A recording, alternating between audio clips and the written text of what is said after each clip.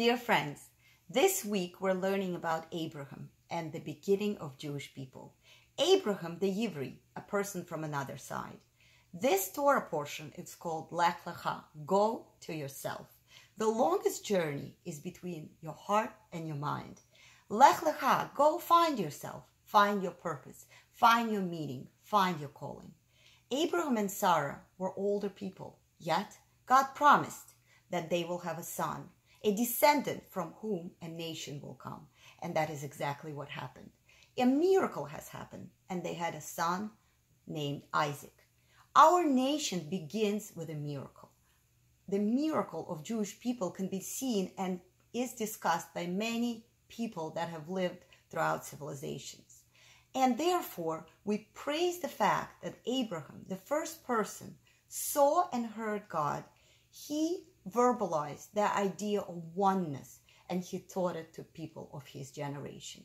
We are descendants of a person who was not necessarily looking for popularity. He was on the other side, but he was looking for an authentic and real connection with God.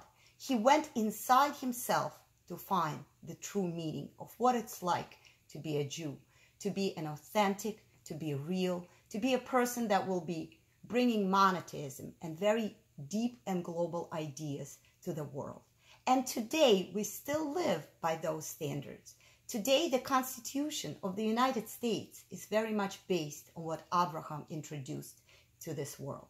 I would like to share with you a story about a king who was looking for a prince for his daughter. And therefore, he gave everybody a seed and asked that they should come back in a pot with a pot in a year and show what grew. The most beautiful flower would win the prize of a princess. In one year time, the princess came back with beautiful flowers. Only one came with an empty pot. He was asked, what is going on? And he said, I tried my best. I toiled and toiled day after day, but nothing grew. The king turned to that prince and said, you are authentic. You're real. You're not a fake. You're not settling for fraudulent ideas of this world. You stand for truth. Every single seed was boiled. Nothing could grow out of it. Everybody substituted a seed with something else, with some ism of the society. You're the only one that did not bring flaw into this world. You stood for truth. And therefore, of course, that's the one that was chosen we Jewish people have to represent truth. We have to be an example to our own people and to the people of this world.